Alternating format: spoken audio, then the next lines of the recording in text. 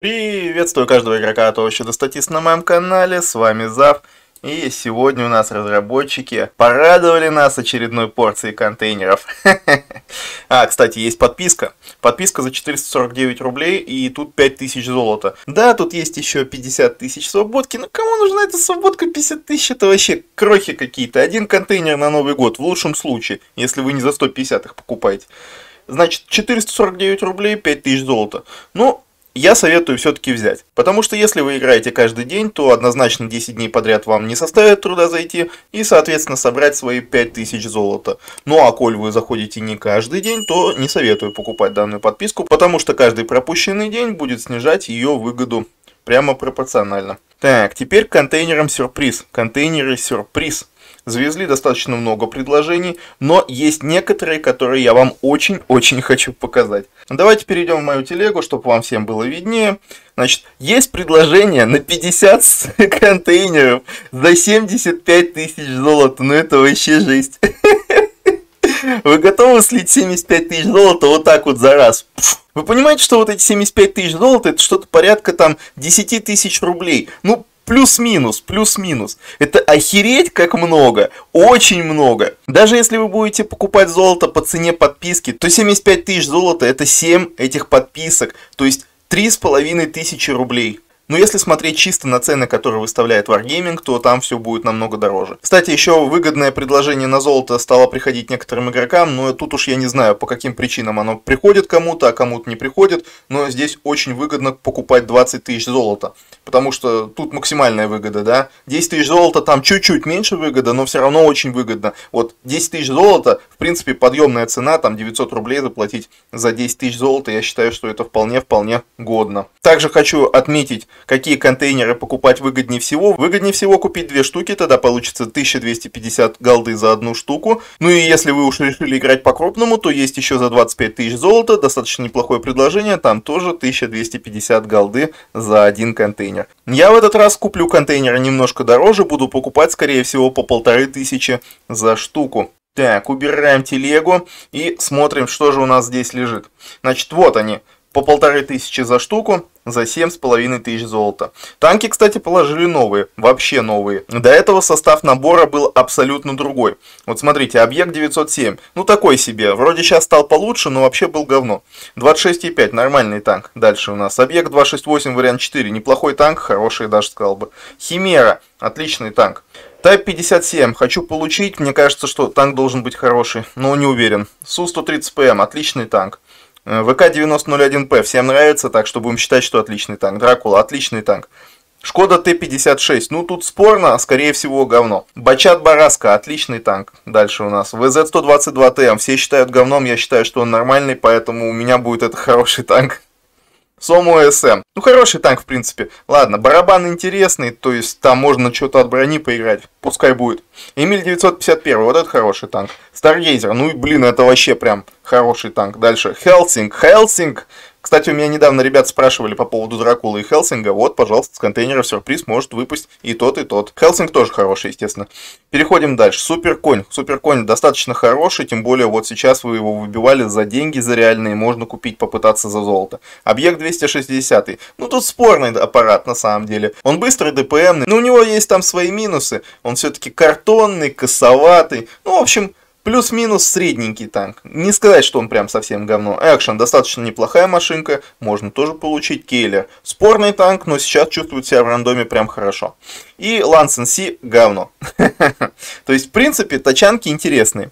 Давайте ради интереса, давайте ради интереса посмотрим, что же было в контейнерах сюрприз до этого был Крушитель. Это хороший танк. СТГ, говно. 26,5, его оставили, так что не считаем. Химеру оставили, Су-130ПМ оставили, Баджера. Баджера убрали, обидно. Badger был хороший танк. Вазик 121 ГФТ. В качестве контейнера он, конечно, говно, но танк отличный. ВК-9001П есть, Дракула есть, ВЗ-111 5А.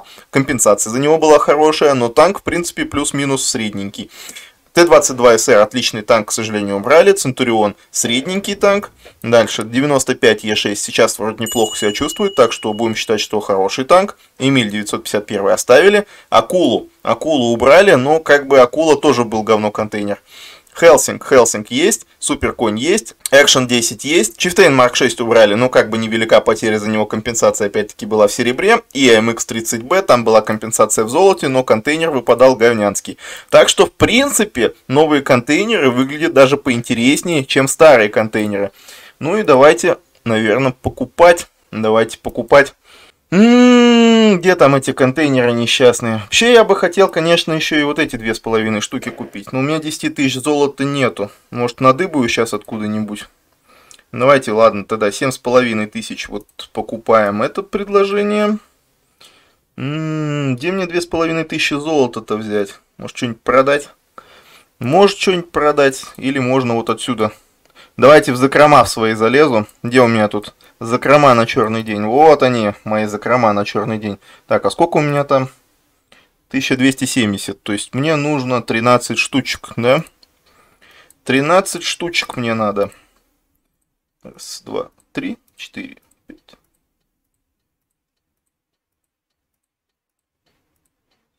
Так, ну вроде так. Да, 2500. О, шикарно. Можно снова купить. Можно снова купить. Так, вот они, два контейнера за 2 500.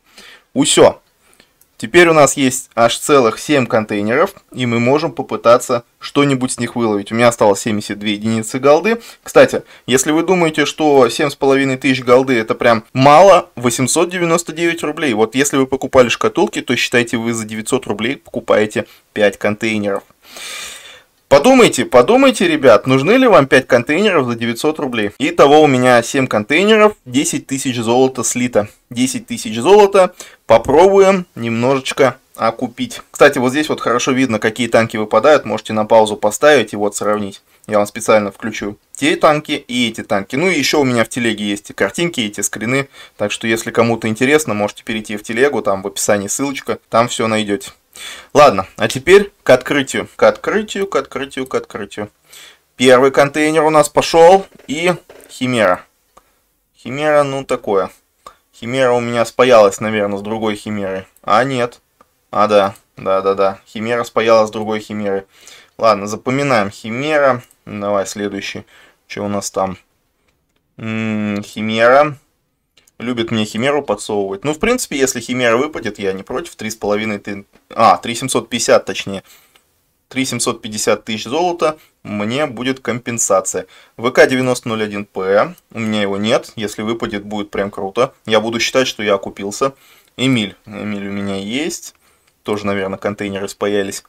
У меня там тоже контейнеры на Эмиле, по-моему, были. 2684, вот это говнянский контейнер, потому что у меня 2684 есть. А, кстати, протестируем, продадим 2684. 1000 золота компенсация, Lansen C, фу-фу-фу-фу-фу. Ну и последний контейнер, который нам падает. Давай. Эмиль 951. Ну ничего интересного, кроме, наверное, ВК-9001П. Ладно, попробуем. О, на ВК у меня, оказывается, один контейнер был. Ничего себе. Давайте с Химеры, наверное, начнем. С Химеры начнем. Давай, Химера, не подводи. У меня два контейнера Химеры. Пум-пум-пум. 500 золота. 500 золота мало.